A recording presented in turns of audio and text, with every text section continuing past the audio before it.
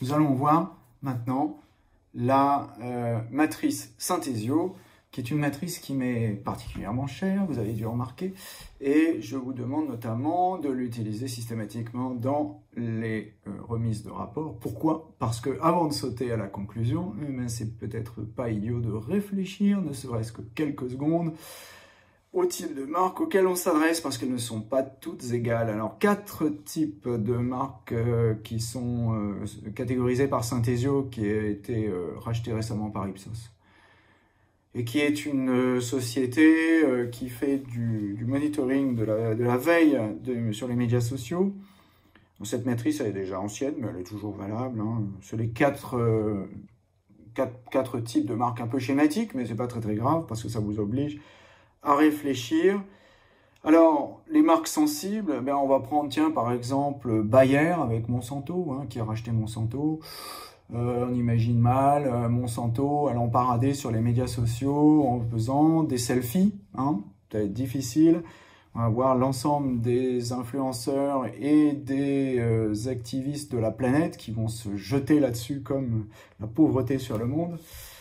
Ça peut faire très mal. Donc, pour ce genre de marque, mais aussi pour les marques de la santé ou les marques des fois qui s'occupent des enfants, il faut se méfier, il faut y aller tout doucement. On est plus dans la réassurance, dans le didactique, dans ben, malheureusement le plus descendant parce que, parce que là, c'est difficile de faire de la collaboration sur ces marques-là. Puis il y a les marques aimées.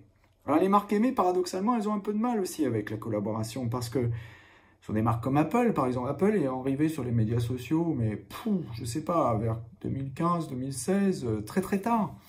Très très tard, bien bien plus tard que les autres. Pourquoi? Bah, D'abord, d'une part, elle n'avait pas besoin, parce que tout le monde en parlait.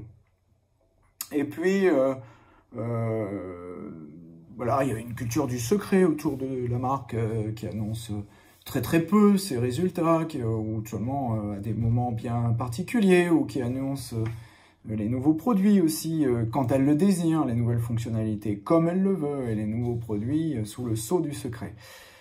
Donc euh, là, je dirais, ce sont des marques sur lesquelles on va trouver des, des, des, aficionados qui vont pas hésiter à créer des sites web, à créer des pages, à créer des blogs qui sont dédiés à la marque. Tiens, on a eu sur Audi, par exemple, I Love Audi, qui a été créé par un, ancien directeur d'agence français d'ailleurs, qui est basé en Australie, et qui avait euh, plus d'engagement sur sa page que tout Audi réuni. Bon, alors il reste deux types de marques. Pas forcément ceux qui vont nous sembler les plus drôles, et pourtant ce sont celles qu'on rencontre le plus souvent.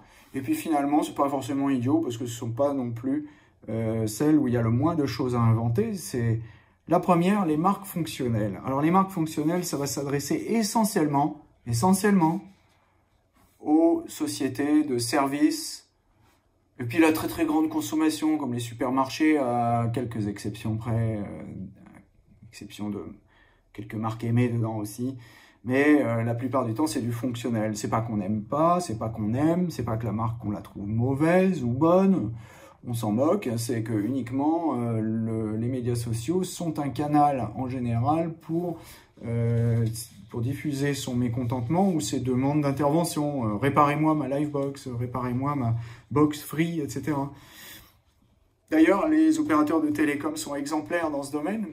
Exemplaires non pas parce qu'ils sont meilleurs ou plus intelligents que les autres, c'est tout bêtement qu'ils ont été les premiers exposés au mauvais buzz dû euh, au mécontentement des clients en masse. Hein, quand vous avez 20 millions, 40 millions de clients comme Orange, 20 millions de mobiles, 20 millions de, fixes, ben, euh, ça fait beaucoup de monde et du coup on peut facilement avoir jusque 20-25% de tweets euh, qui sont pas très agréables pour, pour être utilisé un euphémisme. Donc dans un premier temps, il faut répondre à ces mécontentements en mettant en place un système de support client qui soit exemplaire. Je, vous invite à regarder celui de Numéricable, SFR, euh, qui, est, intéressant aussi. Bouygues, on y reviendra, mis en place des choses fantastiques. Euh, sous le radar, eh ben c'est là qu'on va trouver la majorité des entreprises. C'est celles en fait sur lesquelles il ne se passe euh, bah, pas grand-chose. Et voire même rien du tout. C'est-à-dire qu'en fait on ne connaît pas la marque, on en a très peu parlé. Mais en fait, ces marques sous le radar sont les marques euh, où probablement il y a aussi euh, beaucoup de choses à inventer parce que vous êtes beaucoup plus libre puisque la notoriété est plus faible. Et si on nommait quelques marques de B2B qui sont plus connues que d'autres, comme IBM, Intel, peut-être Cisco aussi à un certain moment, et Microsoft, qui est fait à la fois du B2B et du B2C, ben finalement, la plupart des marques B2B, vous allez les trouver ici. Mais donc, deux façons de regarder les choses, soit se lamenter, soit au contraire se réjouir parce que vous avez euh, là le loisir de euh, faire de l'innovation euh, dans ce domaine. Alors, vous ferez attention parce que cet ADN des entreprises, il peut évoluer au travers des, du B2B ou du B2C. Par exemple, les, boîtes de services en B2B et en B2C ne seront pas dans la même catégorie. En B2B, on va les mettre, les, les ESN par exemple, on va les mettre dans, le, dans les catégories sous le radar.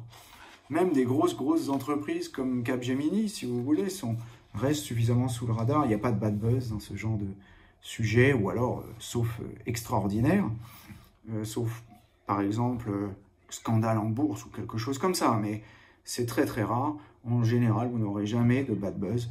Tout peut se régler en ligne tranquillement. Et puis, vous allez avoir aussi euh, des différents types de contenus, différents types d'échanges, différents types de contributions et de plateformes. Par exemple, eh bien, euh, le, blogging, par exemple, va être beaucoup plus utilisé en B2B. Alors, ça ne veut pas dire que vous ne pouvez pas l'utiliser en B2C. Ça veut dire que c'est la norme. Mais bon, justement, euh, si vous voulez être original, vous pouvez transférer les normes d'un endroit à un autre. le, le, blogging en, en B2C, on l'a eu au tout début, et puis ça a un peu disparu, il est peut-être temps de le faire revenir. Et puis les plateformes ne seront pas les mêmes, par exemple. Euh, on va certainement préférer, LinkedIn en B2B à Facebook. Alors, ce qui ne veut pas dire du tout, vous ne pouvez rien faire avec Facebook non plus. On peut très bien faire beaucoup de choses avec Facebook en B2B. Beaucoup, beaucoup, beaucoup de choses. Donc, il faut se méfier de cela, mais je dirais la norme, elle est différente.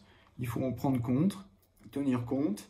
Et puis euh, surtout bien, bien, bien, bien, bien garder en tête ces quatre catégories sous le radar, fonctionnel, aimé et sensible.